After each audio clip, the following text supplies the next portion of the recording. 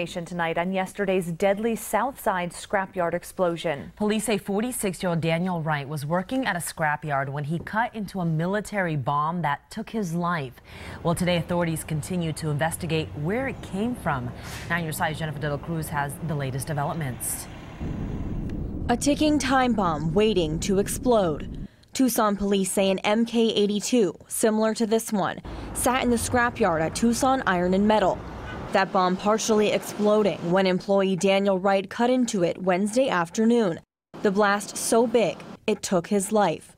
Tucson police, along with firefighters, bomb squad units, and help from DM airmen, cleared the undetonated portion from the yard.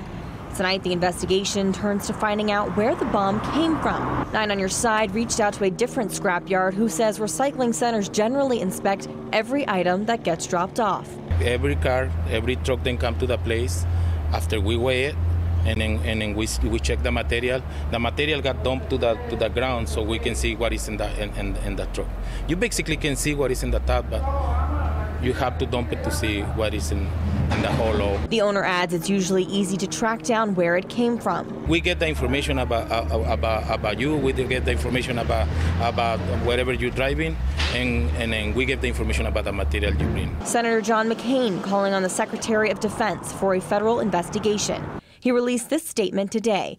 It is imperative for the Department of Defense to explain how this unexploded ordnance made its way into a civilian place of business Wright leaves behind two daughters, Courtney and Brittany.